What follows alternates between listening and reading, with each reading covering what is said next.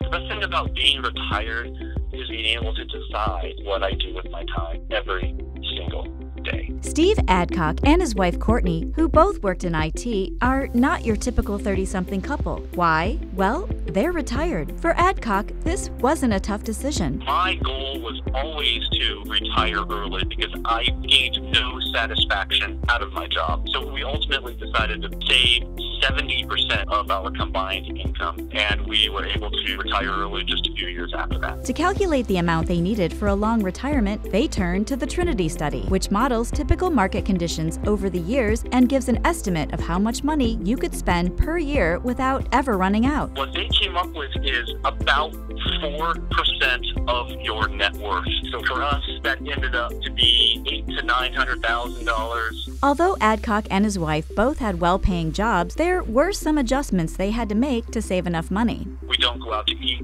as much. We don't really buy clothes at all. We bought the Airstream and we lived in the Airstream for an entire year stationary uh, until we both quit our jobs. So my wife had a house. I also had a house when we got married.